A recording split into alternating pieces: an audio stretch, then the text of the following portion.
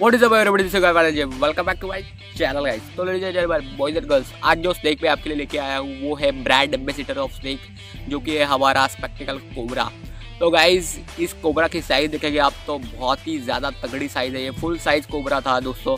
और इसे मैंने रेस्क्यू भी बोल ले सकते, इसे हमने बस रहा भटके को रहा दिखाई है हमने, क्योंकि वो जो स्नेक था, वो, वहीं पे जहाँ पे मैंने उसे रिलीज़ किया, वहाँ पे ही रहता है। और उसे बहुत बार लोगों ने वहाँ पे देखा है और मैंने खुद उसे वहाँ पे बहुत बार देखा है।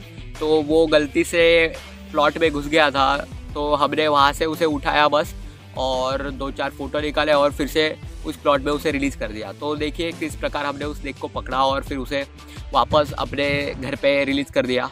तो देख लीजिए।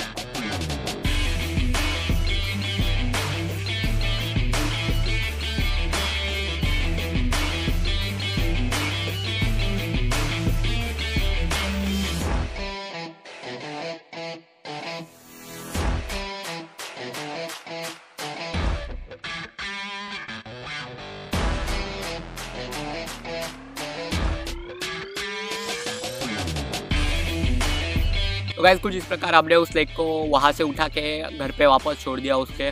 और मैंने सोचा था उसे कि पैक करके उसे कहीं पे दूसरी जगह पे छोड़ दूँ, क्योंकि जैसा कि आप सब लोग जानते होंगे कि स्पेक्टिकल कोबरा ड्यूरोटॉक्सिक वेनम से लेस होता है तो वो घातक होता है बहुत ही ज़्यादा।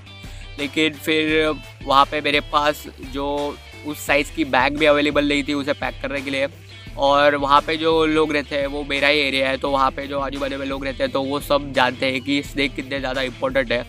और उस स्नेक ने अभी तक किसी को हानि नहीं पहुँचाई थी, और जब तक उसे तंग नहीं करेंगे, वो बिल्कुल भी हानि नहीं पहुँचाएगा। आपने वीडियो में भी देखा होगा कि किस तरह वो शांत वहाँ पर बैठा हुआ था। मैंने उसको पकड़ के रखा था फिर भी। तो स्नेक्स ऐसे ही होते हैं, अगर आप उनको प्यार से हैंडल करोगे और उनको तकलीफ़ दे दोगे तो वो स्नेक्स भी आपको कुछ नहीं करते। तो फिर इसलिए मेरे पास बैग नहीं थी तो मैंने उसे वहाँ पे रिलीज़ कर दिया। यहाँ पे वो था। तो बहुत ही ज़्यादा ख़तरनाक साइज़ थी उसकी और बहुत ही ज़्यादा प्यारा स्नेक था वो। तो हमने कुछ फ़ोटो वगैरह निकाले और मैंने वहाँ पे उसे छोड़ दिया और सोचा कि आपको भी दिखा दूँ कि किस प्रकार हम इतने बड़े बड़े स्नेक्स को भी हैंडल करते हैं। बहुत ही ज़्यादा केयरफुली और प्यार से हैंडल करते हैं दोस्तों। तो ये कुछ टेक्निक है जो कि थोड़े बहुत एक्सपीरियंस से आती है। तो आप ऐसा स्नेक दिखने पर बिल्कुल ट्राई मत कीजिए, क्योंकि जो है वो स्नेक्स वाइल्डली होते हैं तो स्नेक और बाइट लेने के लिए ही बने होते हैं। कोई भी ऐसा सांप नहीं है जो काटता नहीं है, सब सांप काटते हैं दोस्तों। तो आप अपने आप को सुरक्षित रखिए और अगर आपको रेस्क्यू वगैरह कर रहे हैं तो प्रोफेशनली ट्रेनिंग लीजिए और फिर रेस्क्यू वगैरह कीजिए आप।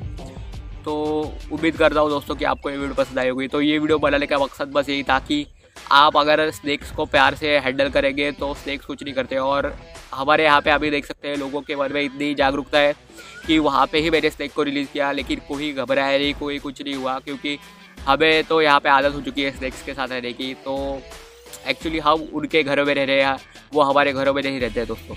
तो यही माइंड सेट आप अपना भी रखिए और सांपों को मारिए बंद तो ऐसे ही मैसेज के साथ वीडियो को खत्म करते हैं और मिलते हैं अगले मैसेज एक नई वीडियो के साथ। दिल दिन अगली फैले तो चलिए गाइज़ बाय